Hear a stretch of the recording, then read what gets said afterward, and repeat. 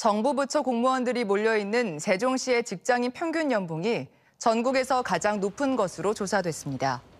국세청에 따르면 전국 근로자의 1인당 평균 연봉은 3,828만 원인 가운데 세종은 평균 4,515만 원으로 서울과 울산을 제치고 전국에서 가장 높았습니다. 대전 근로자의 1인당 평균 연봉은 3,710만 원, 충남은 3,728만 원으로 전국 평균을 밑돌았습니다. 지금까지 대전이었습니다. 안녕하십니까 편사옥입니다. 더 많은 뉴스와 라이브 이벤트를 보고 싶으시면 화면 오른쪽을 눌러서 구독해 보시기 바랍니다. 또 저희 SBS 앱을 다운로드 하시면 속보 알림도 받아보실 수 있습니다.